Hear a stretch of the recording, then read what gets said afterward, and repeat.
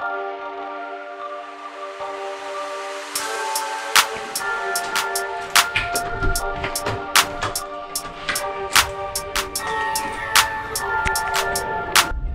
it going guys?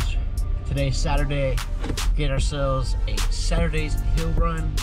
Um, we just finished up our week with some vaulting and uh, we did some max squats yesterday. Squatted 315 for three reps, so that's a new new three rep max. And uh, so yeah, good week so far, and um, looking forward to you know um, Thanksgiving break. Sadly, we don't get off till Wednesday, the day before um, the break.